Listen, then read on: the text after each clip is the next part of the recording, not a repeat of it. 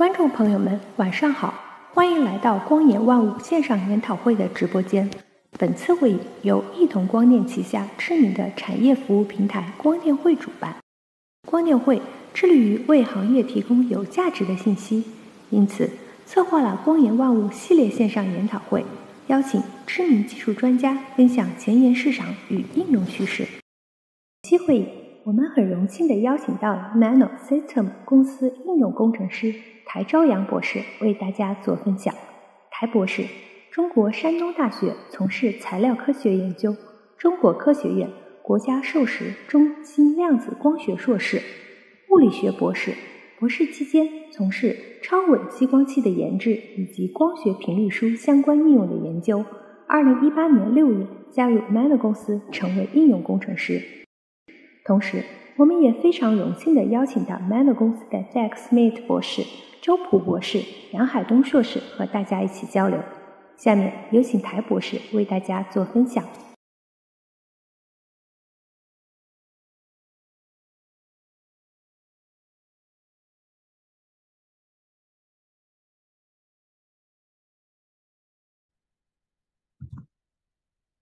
呃，各位观众朋友们，大家晚上好，欢迎呃各位来到呃门楼的光书网络研讨会。呃，在开正式开始今天的报告内容之前，我想先介绍一下 Menlo System 公司。呃，Menlo System 呢是世界上呃领先的这个呃高精度的计量设备的生产厂商，因为获得诺贝尔奖的光学频率书技术呃而闻名。啊，Menlo 呢在德国的慕尼黑设有总部，在美国。在日本都有分公司，那中国的分公司我们今年也会成立。呃，门罗的客户呢，主要是呃一些大学研究所，一些顶尖的这个高校研究所，啊，那还有相关的一些工业的客户。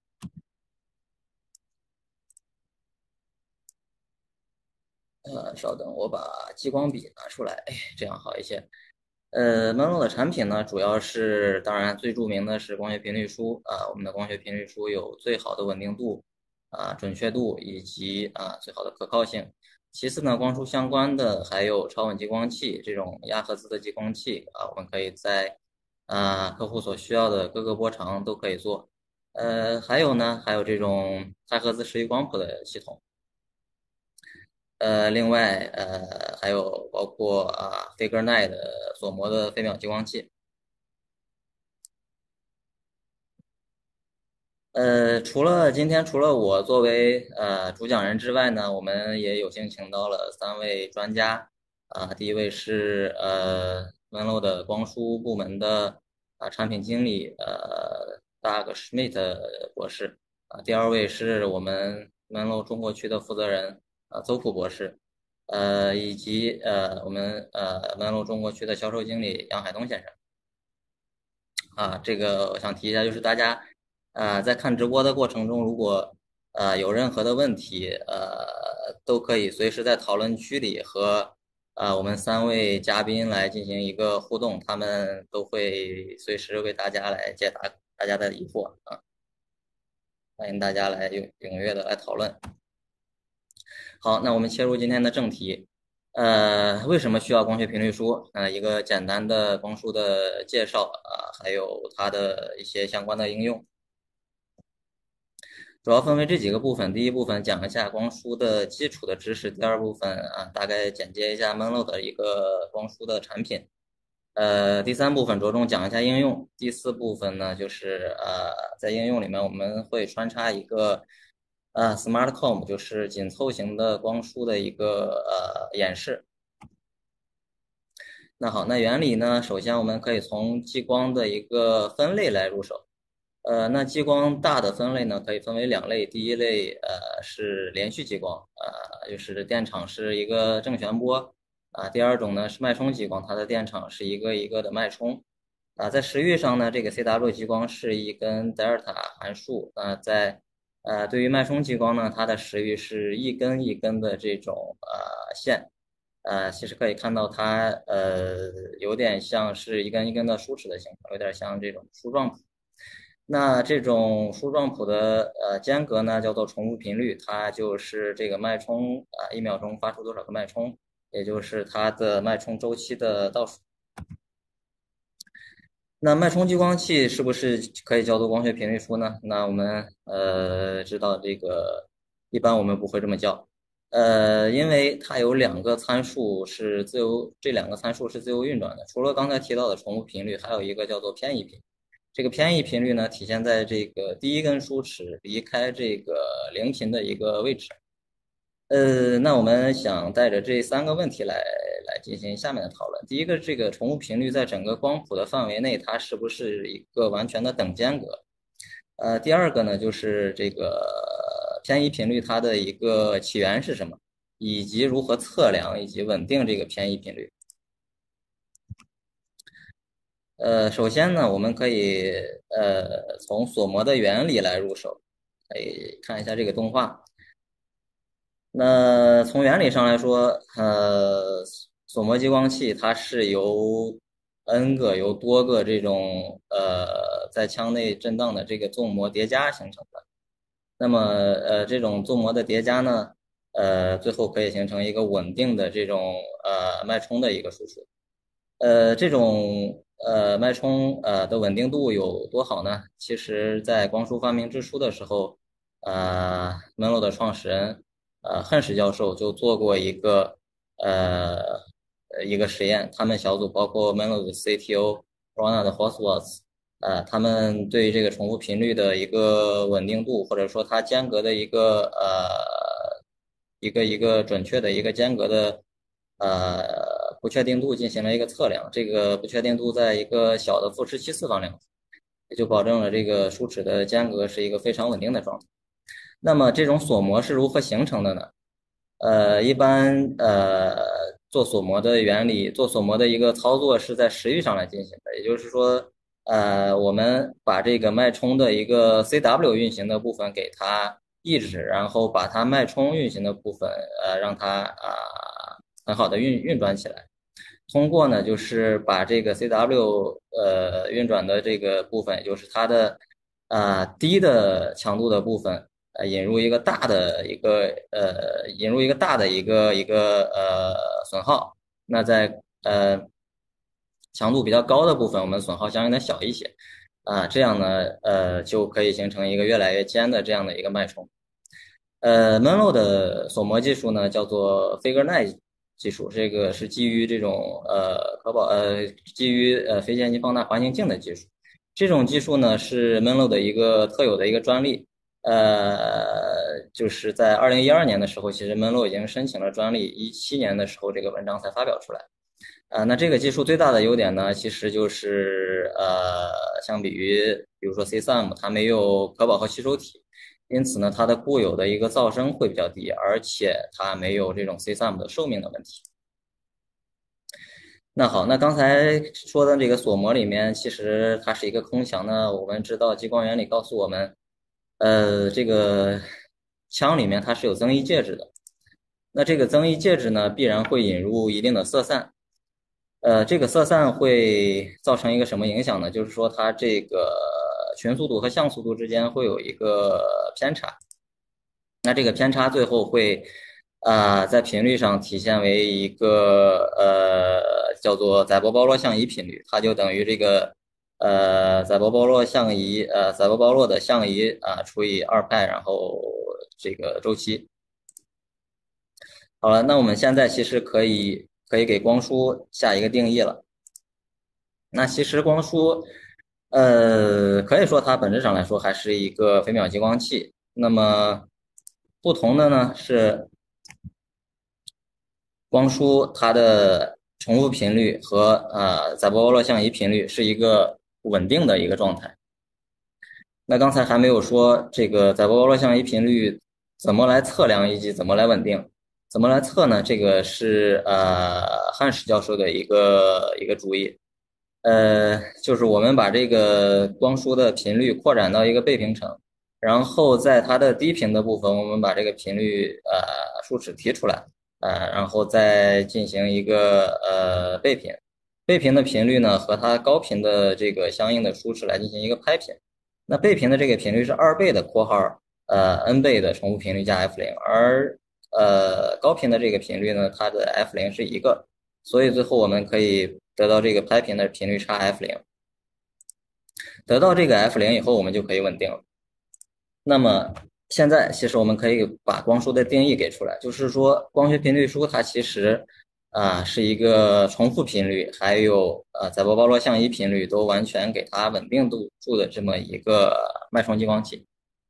那好，那怎么来稳定这个呃重复频率和载波暴露相移频率呢？其实有两种方法。首先呢，可以把它把这这两个频率锁定到一个呃射频上面。啊，这边是一个呃 Figure Nine 的振荡器，然后重复频率我们比较好好来探测以及锁定，我们直接用 PD 探测重复频率，啊，最后反馈到枪呃枪枪长上面。呃，载波包罗相移频率呢，我们用这种刚才提到的这种 F2F 的干涉仪，呃，然后可以把这个载波包罗相移频率来测出来，测出来以后呢，我们就可以进到这个锁相电路里面，最后再来反馈到一个。啊，激光器的相应的一个，比如说电流或者是温度等等等等上面，或者 UM 啊，在门我们使用 UM。那这种这种锁定到射频上的方法呢，有比较多的一个优点。第一个，呃，相对比较简单，所有的这个输齿的模式呢，也都是一个稳定在一个绝对频率上面。呃，其次呢，它因为它稳定到了这个一般的这种射频参考会是一个原子钟等等。那这种呃射频参考呢，可以确保这个输齿的间距稳定，而且它参考到了一个绝对的频率，呃，绝对的一个呃秒的定义上面啊，而且它长期稳定度比较好。缺点是什么呢？缺点是呃，我们因为锁定点是在射频，那其实根据光束这个公式，我们在光频呢这个我们把这个射频的噪声给它乘上来了。那么这种上转化，把这个射频噪声上转化的过程，会引入一个 n 平方倍的一个一个噪声的引，呃，相应的呢，我们输齿的这个线宽会比较宽。在 Menlo 这个数值的线宽是五十 K 赫兹，呃，这个线宽呢，其实主要是由输啊光输自由呃振荡器自由运转的时候啊的线宽决定的，因为我们一般是啊出厂的时候只配一个。啊，小炉中它的稳定度啊，包括香噪不是很好，所以它对于线宽没有压窄的一个作用。那另一种呢，我们还可以把这个光束啊锁定到一个光学参考上面，一个超稳激光上面。呃，CEU 的锁相还是一样的，还是锁定到一个射频参考。那对于重频这边，我们就不锁重频了，而锁定的是一个光输的梳齿和啊外参考外呃外面的一个光参考的一个拍频，一个超稳激光的一个拍频，啊，最后把这个拍频来锁定，啊，这样呢也就完成了一个光束的锁定。我们用 CW 激光器一个超稳激光器和这个光束的临近的输齿拍频，把这个拍频呃锁定住。那这种锁定。呃，有有更多的一个优点。第一个，它支持一个呃谱的纯净度的一个转移啊。这种转移是什么概念呢？就是说我们在五百二十到两千一这么大的一个，基本上是啊光束可以覆盖的一个很大的范围内，可以保持一个亚赫兹的一个输齿的线宽，这个是非常是非常了不起，也是 Menlo 的。啊 f i g u r e n i 的这一套专利啊，才能提供的这么一个呃输齿的线宽。呃，第二个呢，因为我们呃是参考到了光学频率上，参考到一个光参考枪上面，所以它的相噪非常好。那我们可以下软化啊，把这个光光学频率除到射频来产生一个超稳的一个微波信号。呃，也有缺点。缺点呢，首先我们需要一个超稳激光器。呃，那好消息是，Menlo 也有这种超稳激光器的整套的产品出售。呃，非常的紧凑，待会儿也会有一个实物的照片。呃，另一个呢，这种超稳激光器的参考，它因为它的枪它不是一个绝对的谱线，不是一个绝对参考啊，所以它会有一个五兆赫兹每年的一个线性漂移在里面。那这种漂移呢，其实我们也是可以通过一些啊 de drift 的方法来给它补偿掉的。一般呃，我们啊找一个绝对的参考，长期稳定度比较好的，比如说 GPS 或者其他的一个钟，啊，我们把超稳激光的这个呃，可以在超稳激光上面做一些呃设置，来呃来补充，来来 de-drift 这个本来的一个漂移。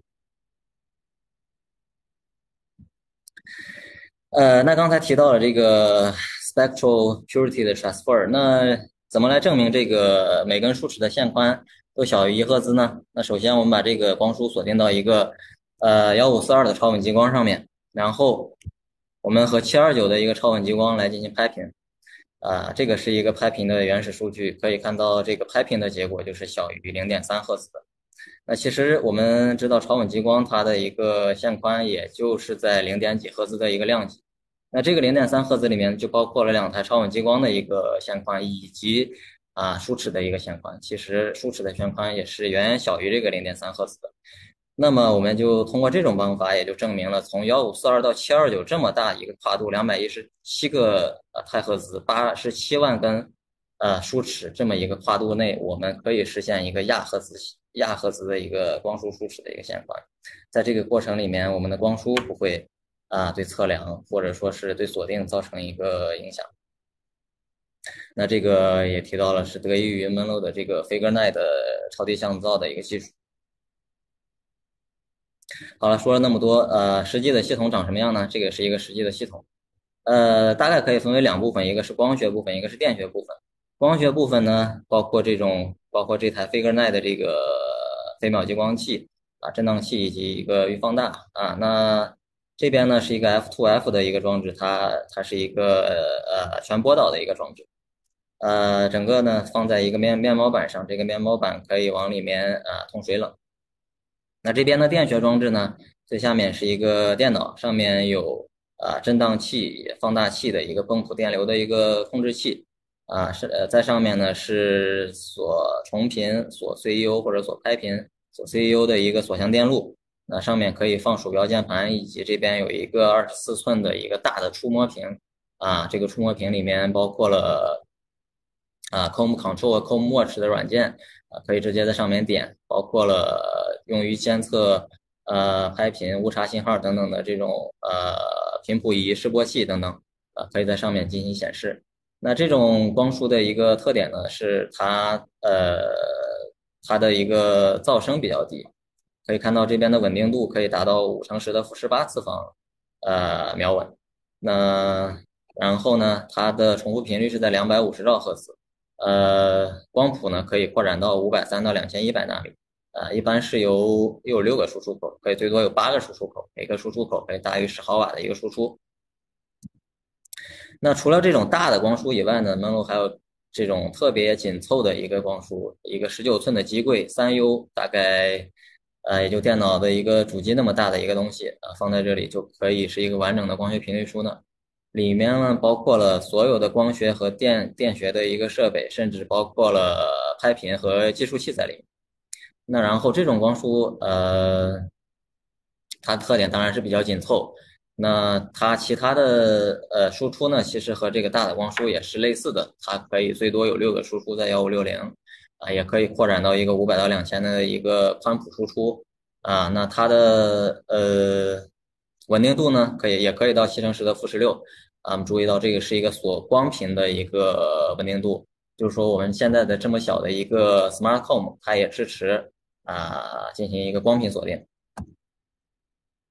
那光频锁定需要这种光学的参考源啊，就是超稳激光器。呃，门路呢，对于这种超稳激光器做的是非常的非常的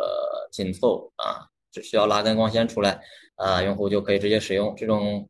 超稳激光器呢。它也是在集成在一个标准的十九寸机柜里面，然后包括了这个超稳激光所有的东西，下面是枪、真空箱等等隔震平台啊，上面有 PDA 的电路啊，有离子泵、离子泵控制器，包括激光器，还有示波器等等。啊，那这种这种超稳激光呢，我们波长可以覆盖五百到一千六百纳米，啊，就是说五百到一千六百纳米，如果客户需要哪个波长的啊超稳激光器啊，我们都可以来做。然后呢，稳定度我们可以做到七乘十的负十六次方的秒稳，啊，也是非常的好。然后当然也是一个亚赫兹的输出。那这台呢是基于这个 PTB 的十二厘米的这种枪。我们还有更小的一个超稳激光啊，这边是基于 NPL 的五厘米的这种啊抗震性能非常好的一个枪，立方体枪。那这种系统呢，我们可以做到十九寸机柜八油的一个输出，呃，一个一个高度。那么这种高度其实呃不到半米，呃，如果就是客户对于体积，对于这种超稳光的体积非常在意的话。啊，这个小型化的、非常呃迷你的这种超稳激光也是非常好的一个选择，也是包括了所有的光学和电学的设备呀，直接拉根光线出来就可以用。嗯，只是呢，它里面没有加这个主动隔热平台，所以它的体积更小，然后它的呃稳定度呢，只是做到了五乘十的负十五，其实对于很多应用来说也是足够的。啊，那它的线宽小于两赫兹，如果加了主动隔震平台的话，大概会多几个 U 出来，那么它的稳定度会做到呃低的负十五次方量级，线宽也会小于一赫兹。那好，那介绍完了这个原理和产品以后，下面我着重来介绍一些光束的应用。呃，那今天呢，其实我们是这个光束研讨会的第一部分。呃，我们主要讲左边这四个应用，包括啊高精度的计量啊，包括光束作为频率参考，不还有这个呃光光纤链路，还有双光束的光谱。这个光中和超微波的产生呢，我们计划在呃第二部的这个光束网络研讨会里面再给大家来奉奉送吧。希望大家呃还可以来收看我们的第二部。好的，第一个，我们来看一下高精啊高准确度的这种呃光谱的这种计量。呃，其实，在一九七八年的时候啊，用这种锁膜激光器，用这种皮秒的锁膜激光器啊，已经在做这种呃高精度的谱的一个啊测量了。呃，其实当时也是汉史教授在啊斯坦福的时候就有了一个相关的研究。呃，那么，那么其实。呃，今天我们知道这个时间频率可以比其他的基本物理量都测得更准一点。那光中在今天已经达到了一个负十八啊，甚至是更高的一个频率准确度和稳定度。呃，其实呃，一九八一年的时候，诺诺贝尔奖获得者肖呃肖洛教授，也就是呃亨氏教授的老师呢，就说过这么一句著名的话，就是永远不要测啊除了频率以外的别的量。那光束呃，对于这这个呃精密光谱的测量，它其实就是测频。那么光束可以啊支持一个更高的稳定度。这边是一个呃小例子，比如说在光束发明之前，这种轻的 ESRS 能级的测量的呃准确度是在一个呃负十二、负十三次方这么一个量级。那光束发明以后呢，这个准确度直接提高了二十倍。那光束测量这个频率的一个原理是什么样呢？其实就是一个用光束来和 CW 激光啊带测的这个 CW 激光来拍频的一个原理。那这个这边是一个原理的示意图。我们这个 CW 激光的一个频率，我们看呃是这个浅蓝的线。那光束的呃梳齿呢是这样一根根一根的梳齿。那么我们的 CW 激光的频率可以表示成光梳的这个梳齿，其实是它临近的梳齿，这边加一个限制条件啊，表示和它离得最近的这根梳齿，然后和这个它们之间的一个拍频的频率差。那呃，如果大家还记得的话，光束的这个公式是 Fn 等于 n 倍的冲频加上一个啊偏移频率。那么最后怎么来？其实呃，我们可以看到这个 f 零和 f 二以及 f bit 它都是在射频，我们可以用计数器啊准确的给它测出来啊。我们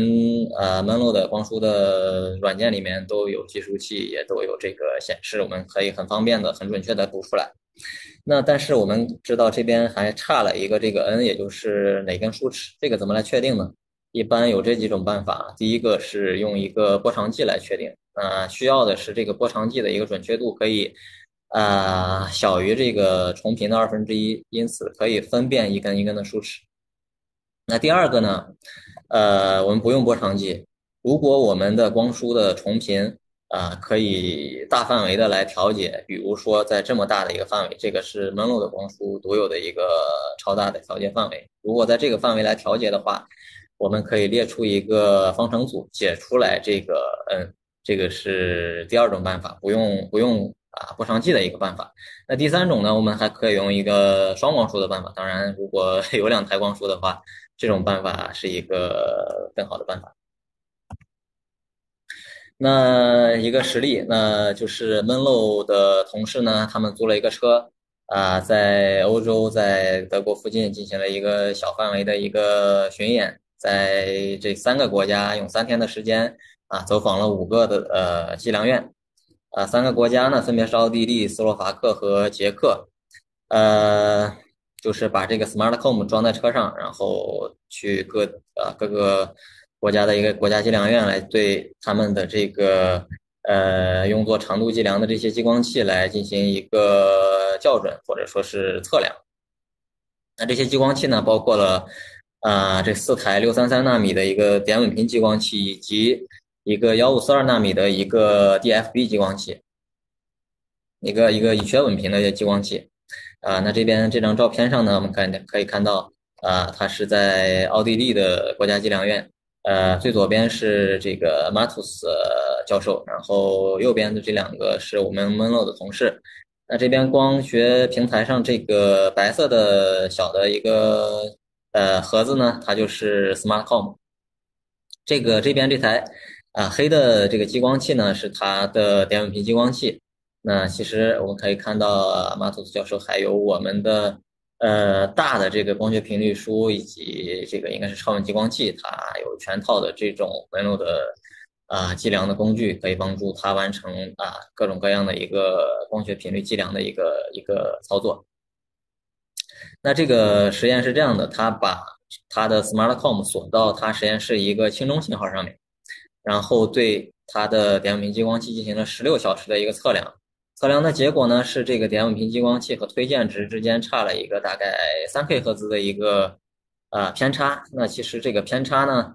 呃不是我不是实验中的偏差，不是由仪器引入的，而是呢这个激光器自身的一个频率的一个漂移啊引入的。因为之前呢我们呃马图斯教授和我们的同事也用这个大的光学频率数进行了一个相同的实验，得到的也是一个。啊，非常接近的一个数值，也就是说，这个是这个激光器自身的一个漂移。那么这边是一个呃点稳频激光器的一个稳定度曲线，呃，是按照基本上是按照根号套来下降的，是一个典型的一个点稳频激光器的一个稳定度曲线。那好，呃，那我们现在中场休息一下，我呃有请我们这个 Sander 呃博士，我的同事 Sander 博士来。啊，给大家演示一下这个 SmartCom 怎么来测这样一个 CW 激光器的频率。然后呢，我放一下这个我们呃事先录制好的视频。So hello everyone, I hope you are enjoying the seminar uh, so far. Uh, okay, so what we have here is the SmartCom, which is our most compact frequency com, and it has everything inside. So all the optics, all the control electronics, everything is inside this box that you can see here. So uh, typically, the SmartCom comes with a bit detection unit at 1542 nanometers, but we can put another two bit detection units at the wavelength that you want. So uh, what you see here are the ports, so one for input, another for the output, but you can have up to two input ports and up to six uh, outputs. So it would go in a, square all the way here. Uh, here we have the spectrum analyzer, for detecting the bit signal. And here is the basically a touch screen which controls the SmartCom. And uh, it's basically uh, a copy of what we can do also remotely with the laptop. So in this case, we will work with, with the laptop. So the first thing that you would need to do to uh, switch it on is go to this drop-down menu and change from standby to frequency com. So what you see here is the repetition rate of the SmartCom. And here in the other box is the carrier envelope offset frequency. So the repetition rate is fixed to 100 megahertz, uh, while the CO frequency is up to 10, um, 10 megahertz. Um, so what we are going to measure, it's a Rio, Rio laser that you can see here, a CW laser. Uh, what we did before is um, basically measure it with a, with a wave meter so that we really know in which mode we are working. So this is already set. Okay, so while uh, I was speaking, the repetition rate was, was log, and now it's fully green, ready to, ready to go. And also the CO frequency, it's, a, it's log already. It usually takes around 30 seconds, so it's pretty fast for having both of them work. Okay, so now that everything is set,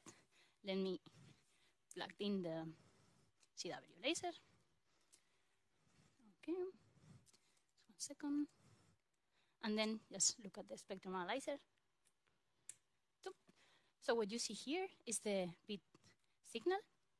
uh, of the CW laser with the with the COM. And just to figure out what is the sign of this bit signal, because it can be negative or positive, but we will see it better later on. What I will do is to change the repetition rate, and then you will see how this will move. So if I go to the software, I click here, and then I start uh, switching this up, so you can see how it moves uh, to the right. So it increases. What it implies that the um, uh, bit signal is negative. So this will be useful to later on calculate the proper frequency of the laser. So if we now go to the um, uh, software analysis, and if I click center, what you see here is the uh, signal of the bit that goes up to 31 megahertz. So knowing this and knowing that is in between 5 um, and minus 5 megahertz, we have already fully characterized the, the CW laser. So I will now explain a bit uh, how we really determine this um, sign of the um, of the bit signal. So, but this is everything that you would need to do to measure properly the frequency of the CW laser. So, see you in a second. Hi again. So what I want to show you here is how we determine the sign of the bit signal and also the frequency of the CW laser that we are measuring. So what you see here is the representation of the frequency COM that we have already seen throughout this webinar. So here you see all the different modes and the spacing will be the repetition rate. So as we have said, the frequency of the CW laser will be given by the frequency of the mode N that we already know because we have measured it with a, a wave meter and also the frequency of the beat. So if you see here, this uh, red line could correspond to the frequency of the CW laser that we want to measure precisely. And here we have the mode N that we already know. So the spacing between these two is the bit signal. And a way to know if this is basically to the left or to the right of this, uh, of this mode is by increasing slowly the repetition rate. So when we do this, you can see that the bit signal increases as we saw in the spectrum analyzer. This implies that the frequency of the CW laser lies to the left of this, of this mode. So we need to subtract the bit signal to the uh, frequency of this mode. So just uh, by doing this, this we have already measured, as, as I've just said, in the spectrum analyzer and also later on in the uh, analysis software, we saw that the bit of the signal was 31 megahertz or so. So with this, we just figured out what is the frequency of our laser. And that's all. Thank you. 啊，好的，感谢 Sandra。呃，那我们再继续下面的应用。 呃，刚才讲完了这个高精度的频率计量，呃，我们再说一下，呃，这个光学频率书作为一个频率参考的一个应用。呃，我们可以看到呢，这边，呃，我们光学频率书上面可以锁定六台的这种 CW 激光器上来。呃，那锁定的原理呢，其实和刚才提到的光学频率书锁定到光参考上的一个结构是类似的。只不过呢，这边我们光输是一个参考，而这个 CW 激光器是一个带锁的一个器件。然后锁定以后呢，其实我们这个这这这这么多台的 CW 激光器都可以获得一个光输的舒适的一个呃线宽，呃，基本上也就是在亚赫兹量。这边是一个实例，呃，在德国的马普光学呃马普量子光学研究所呢，他们把七个实验室的呃，大约二十五台 CW 激光器同时锁定到了一台 Menlo 的 FC 一五零零光束上面。那这个光束呢，参考到一个马普的呃轻中上面。那呃，这个 CW 的频率呢，从七七零、七八零、七九五啊，一直到幺五六零纳米，呃，都有非常多的一个频率都可以锁上来。那么这个这样做呢，非常的简洁啊，省去了这个，比如说。呃，之前用于稳频的波长计呀，啊，气体吸收池呀，还有这个参考枪。那这种波长比较多的系统呢，它是什么样呢？这其实也就大了一些，主要是多了一些呃扩谱单元，啊，扩可以扩这么多的一个频率点出来，用于 CW 激光器的一个锁定。啊这边是做了一个八台 CW 激光器的同时锁定的一个这么一个系统，啊，这边也有多了八个 拍频单元出来。那另外呢，这个小型化的光束也可以作为一个频率标准啊，或者说可以把其他的啊 CW 激光来锁上来。那这边是一个德国宇航局用来监测温室气体的这么一个实验。啊，那值得一提的是呢，这个 SmartCom 是呃第一台呃上飞机的这么一个光束，啊，那这个飞机呢是由德国宇航局提供的这种呃高海拔长距离的一个呃一个研究用的小飞机，这么小啊，所以说其实这个飞机应该是比较颠，呃，那这个实验呢是用到了一个查分吸收激光雷达的一个方法。啊，这个他们在飞机上带了一个这么幺五七二纳米的一个 CW 激光器，用这个 CW 激光器来测量这个气体的一个一个浓度。呃，那么这个 CW 激光器呢，由于它海拔呀，由于气压呀、温度呀，啊，包括颠簸呀这些振动这些因素的影响呢，它会它的频率并不是一个。啊，比较稳定的一个状态。那么我们可以用 C 用这个 SmartCom 来测它的一个频率。那测量的一个曲线呢，大概是一个这样的曲线。我们可以啊，从这个测量的一个呃 CW 激光器的频率上呢，看到这个呃它的，比如说它锁相电路，这个 CW 激光器的锁相电路呢，是不是在工作，是不是会失锁啊等等。那其实另一个呢，我们还可以用一些啊。后补偿的办法，把这个 CW 激光也锁到这个光束上来。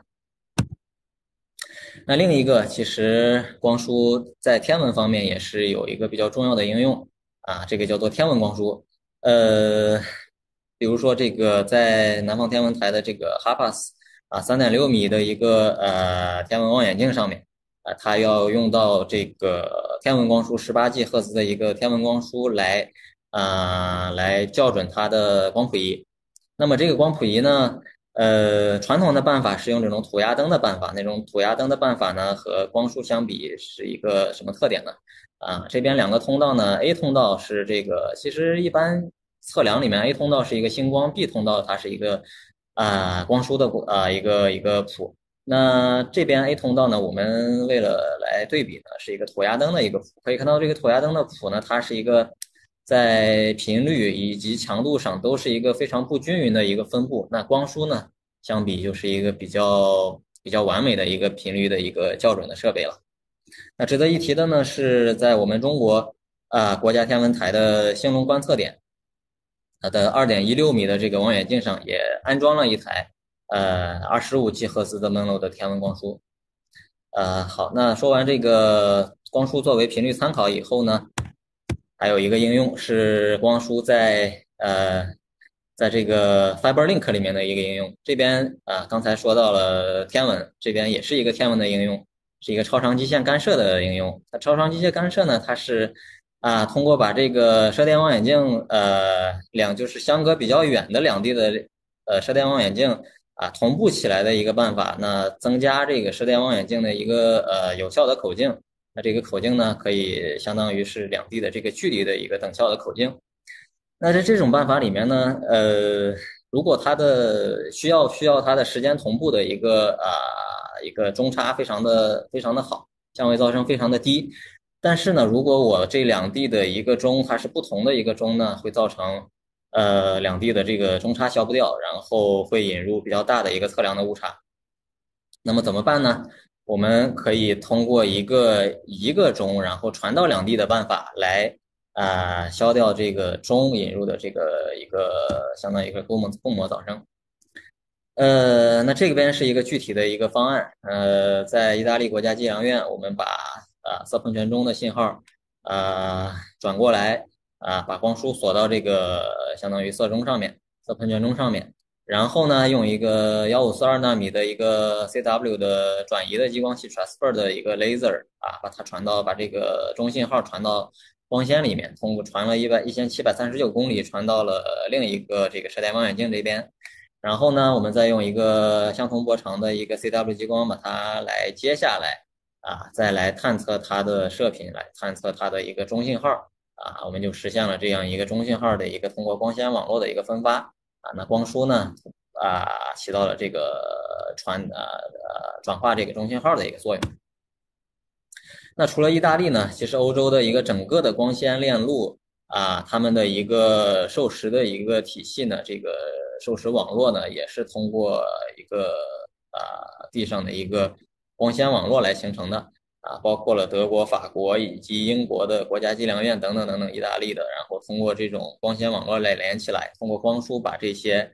啊标准的色钟呀，或者是其他的微波钟，甚至光钟都连起来，来进行一个组合的一个应用，达到一个更好的效果。好，那就到了今天最后一个应用了，是一个双光束光谱的一个应用。那双光束光谱呢，其实可以对比类似于啊传统的一个傅立叶变换的一个光谱啊。那不同的是呢，我这边用了两台啊光束，那省去了一个本来的这个傅立叶变换光谱仪里面的一个运动运动的一个部件。那省去了这个部件以后呢，相应的我们还省去了一个呃光谱仪。呃，呃，因为没有这个运动臂，那么我们也没有运动臂带来的一些啊，比如说测量时间啊，比如说这个准确度的一个限制，那么我们可以在毫秒量级就扫一个谱啊，那并且这个分辨率呢，可以达到一个光束的呃疏尺间距的这样一个分辨率。那那这边是一个呃更具体的一个原理，呃，那两台光束啊，它们的谱在。在在呃进行一个拍品，那我们看到这个谱，它两台啊会相差一个频率差，一个重复频率的频率差德尔塔 FR。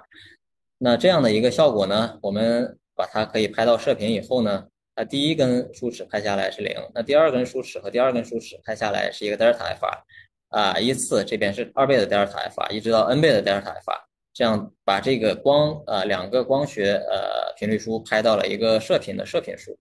那相应的把这个光谱的一个，比如说气体的一个光谱的一个吸收线呢，也拍到了射频来观察，呃，这样做非常的，就是说呃提到刚才提到的那些优点，我们都可以做到。那这边是一个实际的一个测量结果，啊，是对一个乙炔的一个吸收线进行进行了测量。呃，分辨率是达到了一个数尺的一个 MLO 的呃典型的一个重复频率两百五十兆。那这边是一个实际的一个例子，可以看到这个测量的点和 Hatchin 的数据数据库啊 fit 非常好啊。那然后呢，它的动态范围也非常大。这边啊，它的呃强度只有零点一啊，啊这边的强度有三点几啊，那都可以测出来，而且非常的清晰。呃，信噪比啊，都是一个可以达到非常好的一个一个状态。那这边呢，就是最后一个最后一页 PPT，然后啊，我们 Menlo 和呃瑞士的 EPFL 合作的 Kippenberg 组啊，他们合作的一个双光束的项目啊，看到这边呢，就是一个整个的双光束系统，也是集成在这样的一个啊，机柜里面包括了所有的光学和电学的设备都在里面，啊，重复频率是两百五十兆赫兹，重频差三百一十赫兹。那这边呢，呃，桌面上还放了两个，一个是参考激光，一个啊普通的 CW 激光，作为啊两个光束的一个光参考。啊，这边一个放大器啊，是用于做他们后续的一个实验，两台都放大到了四百三十毫瓦，啊，用于做他们的一个啊中红外的一个光束，打到他们的一个呃氮化硅的一个波导里面，啊，做中红外的一个光束的一个 pop，啊，相当于这样的一个实验。那这边的这个文章呢，那郭海润老师的这篇文章。啊，是一个非常好的一个双光书的应用啊，或者说是包括原理和应用的一个文章啊，欢迎大家去啊看一看这篇文章啊。那今天的报告就到这里，呃，下面是就是回答问题的时间啊，谢谢大家。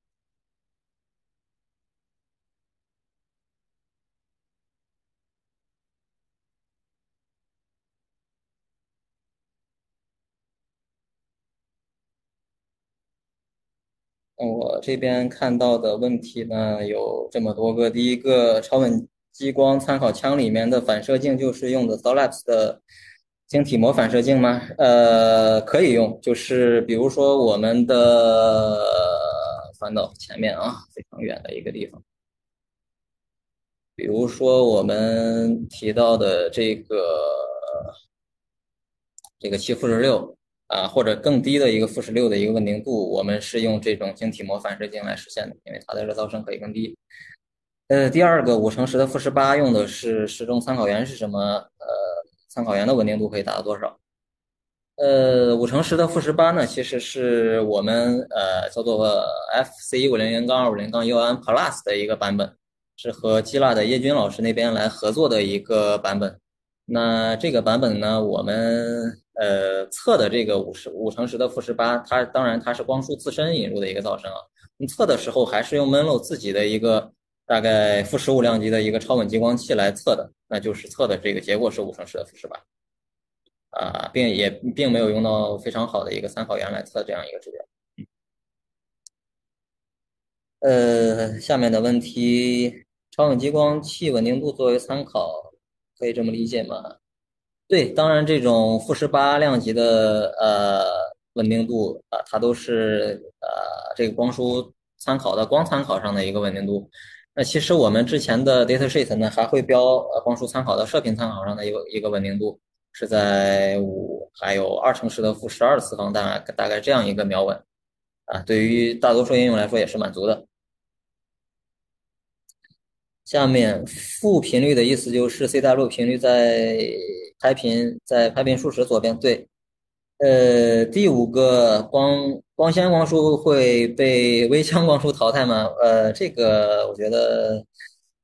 微腔光束的技术目前还不是特别成熟，它主要的问题还是噪声太大，然后对于这种高稳定度、高准确度的测量来说，一般不会用到微腔光束。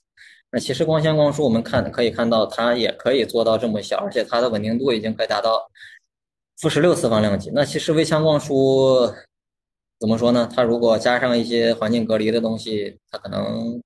啊加上一些电脑呀，加上一些啊拍频呀，加上控制，它的体积是不是也会更大呢？对吧？第六个问题，怎么改变重复频率？呃，重复频率一般我们腔里面有。呃，一些反馈的器件，比如说呃，快的有 EOM，慢的有压电陶瓷和电机等等等等，我们都可以用这些东西来变。第七个，每根梳齿的功率是多少？足够用来稳频吗？这个问题非常专业。呃，我看一下，这在后面，在作为频率参考这个这个地方。我们可以看到，其实这个地方放了四个四个放大器，然后每一根的每一个放大器呢，它其实大概覆盖两个波长点，或者说是比较邻呃像离得比较近的，比如六九八和六八九这两个波长点，那来保证每一根梳齿的这个梳齿能量达到一个最大。那其实我们还有那种宽谱的一个输出，比如说那种啊超连续谱的一个输出。那个呢，其实也可以用来稳频，但是它的梳齿功率比较低，因此我们 Melo 不推荐用这种用那种宽谱的五百到一千、一千到两千那种超连续谱来稳频，啊，我们会把这个频率，就是单点的频率做到非常高，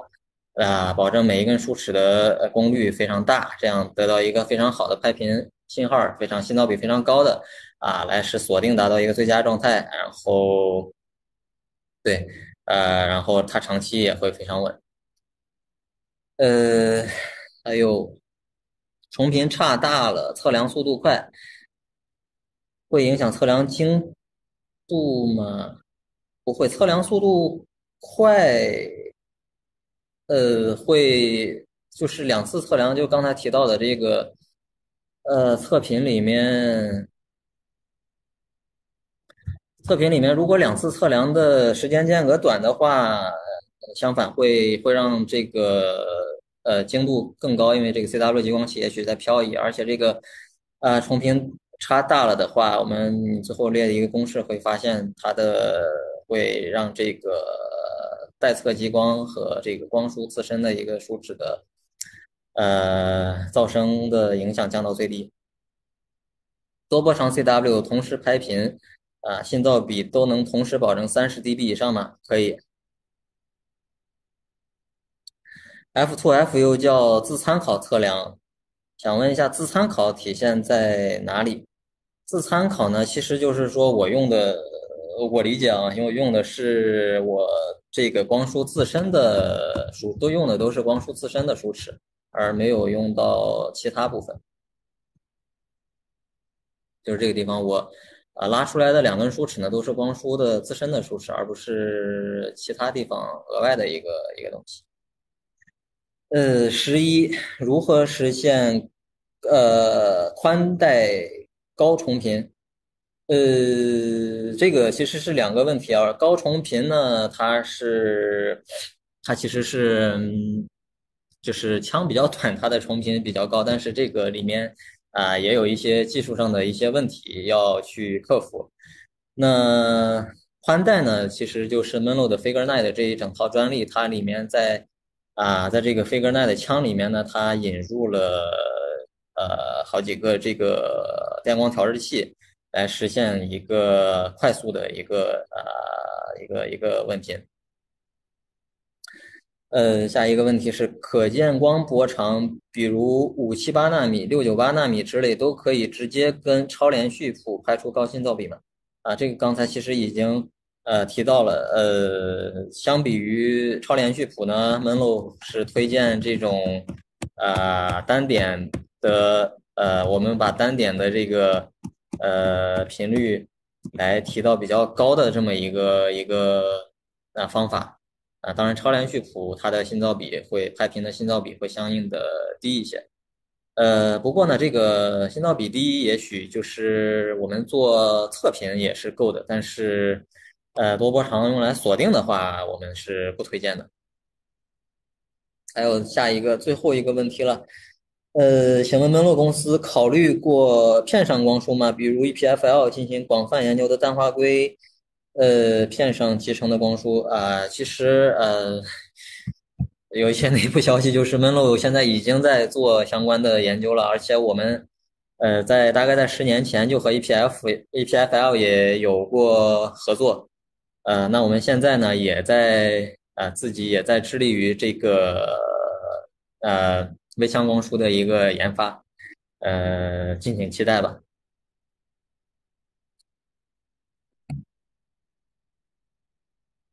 哎，好像还有一点时间，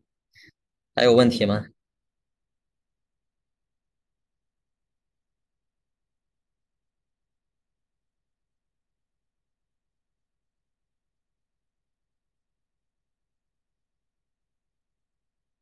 没有问题的话，那我，呃，今天的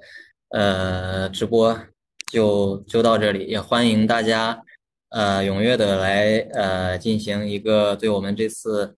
呃研讨会进行一个反馈，呃